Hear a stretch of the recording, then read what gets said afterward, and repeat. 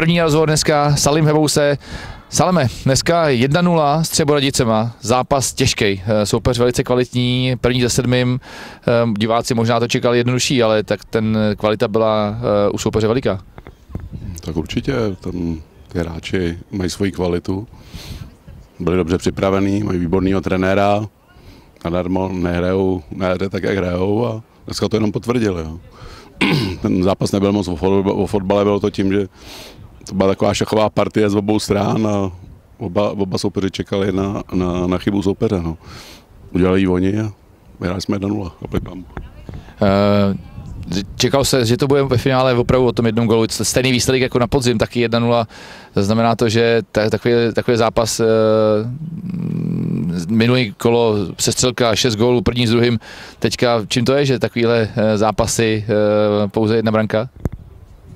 No, asi, asi, asi zřejmě hrajou toho soupeře, no, protože byli dobře připravení vzadu, vzadu v té defenzivě, to měli dobře srovnaný věděli, co, co chtějí hrát a nepustili nás do moc šancí v tom utkání a tudíž, tudíž mají určitě lepší defenzivu, než měli volný sklady, ty, ty hrajou víc dopředu než, než dnešní soupeř a, a tudíž byl to ten výsledek. No.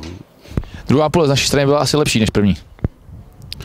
No, asi myslím, že jsme zatím šli víc než soupeř ten druhý poločas a nabadal jsem kluky, ať jsou trpěliví, jsem věřil, že prostě ten tým má teď hlavně psychickou sílu a věří se je a bylo to vidět. No.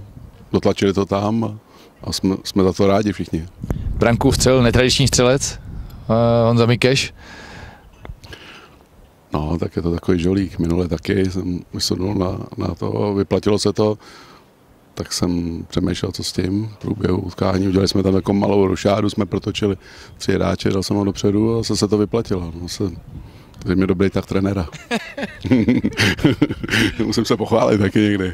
Některý, některý trenéři jako Mourinho, ten se chválí furt, tak, tak se jednou taky musím pochválit, že, že bych řekl, že to byl možná ten moment, který rozhodnul.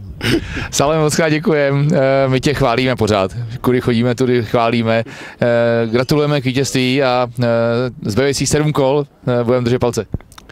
Díky moc a děkujem, děkujem ti za přípravu hřiště, děláš co můžeš a, a já myslím, že to ještě bude lepší a lepší a bude se hrát i lepší fotbal a, my, a dokážeme to. Salinku děkujem.